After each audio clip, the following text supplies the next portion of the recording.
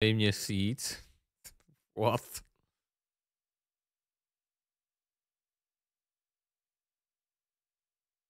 Já počítám měsíce, ne měsíce na dny, sorry, no, no tak to je docela ne...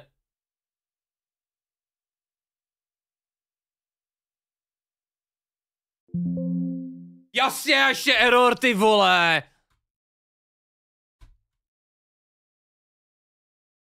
Ale jak moc bude sexuální?